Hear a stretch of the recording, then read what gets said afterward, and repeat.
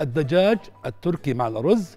بدنا ست أفخاذ من الدجاج ثلاث أكواب من أرز تايجر من شعبان ثلاثة كوب مرق دجاج آه، بصلة مفرومة ربع كوب من زيت النباتي شعبان نصف كوب من اللبن وبدنا كمان ربع كوب شطة حمراء ملعقة من البابريكا الحلوة وملعقة صغيرة من النعناع اليابس ملعقة صغيرة من الزعتر وملعقة من الثوم شوية ملح وشوية فلفل حسب الرغبة.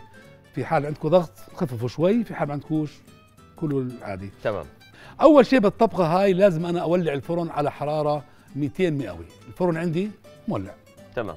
ثاني شيء عندي هون يا سمير الدجاج بنسلق. دجاج على بنسلق. أعطيته شوية باقة عطرية من ورق الغار البصل.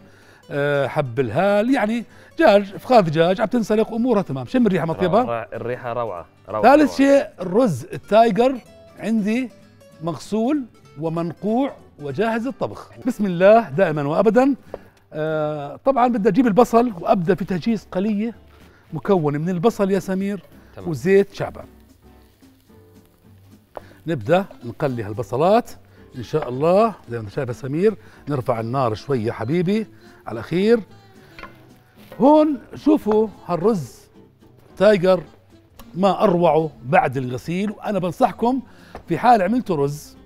أول شيء لازم الرز يتغسل منيح 100% حتى ميته تصير واضحة صافي جدا. يعني نسيح عنه كل النشا. شوف الرز ما أجمله. صافي. شوف كيف شوف. كيف. يعني زي هيك أبيض زي الثلج. أها أها. هذا الرز راح يعطينا نتيجة في الطبخ مميزة جدا. تمام. طبعا هون أضفنا الملح والفلفل راح أضيف شوية من النعنع اليابس. ممتاز. شم الريحه مه. أطيب شيء على السلطات. البندورة روعة. مع الطحينيه تحط لك هيك. شوية عذبت أنت بديرة النار مش رح يديرهن كلهن يعني. لا لا لا مش كلهم يا حبيبي طولي بالك. وهي شوية من البابريكا الحلوة. أها. والآن بدي أضيف الرز وأقلبه وأنشفه حتى يكون جاهز لامتصاص المرق. مرق الدجاج فيه باقة عطرية طيبة. ولسه حنحط الدجاج على وجهه ونحط عليه خلطة معينة وندخله على الفرن. لسه المشروع مستمر. طيب. ف... فهون راح أضيف الرز تايجر المرتب المتكتك والمغسول والمنقوع جيدا. وأبدأ أقلب الرز مع هالبصل وهالقطايب حتى يمتص كل هالطيبات عندي يا سمير. هون راح أضيف مرق الدجاج المنكه بورق الغار والبصل والهيل.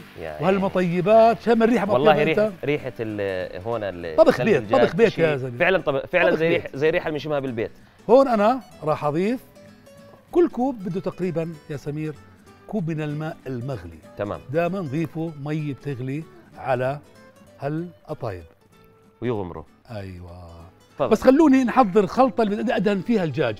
تمام. بدي أحطه فوق الرز بس الرز ينشف عندي. تمام. اللي هو طبعا اللبن. هاي اللبن حبايبي. أيوه. وبعديها إيش هاي؟ هذا الديك الأحمر. ديك الأحمر. هاي شطة. الديك الأحمر. الديك الأحمر أكيد سمير. هيا هم نضيف عليها. وبعدين يا سمير راح أضيف هالبابريكا. وراح أضيف عليها الزعتر راح أضيف عليها نعنع اليابس أها. راح أضيف عليها الثوم شوية من الملح وشوية من الفلفل الأسود الله. وبدي أخلطها منيح وأنتظر حتى الرز عندي يا سمير إيش؟ أها. ينشف شوي بعد الفاصل رح نحط الدجاج ونسوي دهن للدجاج وندخله على الفرن وكمل طبخ الرز داخل الفرن. تمام. نحط أو بندهن الخلطة هاي سمير شايف يا أخوي؟ على هالدجاج. الله. والفرن عندي جاهز وراح ندخله الدجاج داخل الفرن. يعني يعني اللبن راح يعطيه لون ولا أروع منه يا سمير. سلاسة سلاسة. يا عيني يا أيوة. عيني يا عيني